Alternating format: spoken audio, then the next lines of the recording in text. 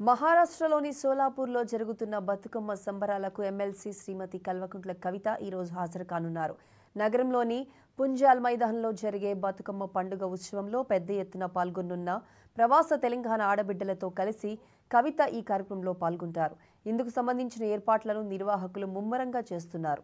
నగరంలోని దత్తవాడ నుంచి సాయంత్రం ఐదు గంటలకు ప్రారంభమయ్యే బతుకమ్మ శోభాయాత్రలో కవిత పాల్గొంటారు. ఈ శోభాయాత్ర సాయంత్రం ఆరు గంటలకు అక్కల్కోట్ రోడ్లోని పుంజాల్ మైదాన్కు చేరుతుంది. తెలంగాణ ఆత్మగౌరవ ప్రతీక అయిన బతుకమ్మ పండుగకు పెద్ద ఎత్తున తరలి రావాలని స్థానికులు వెల్లడించారు.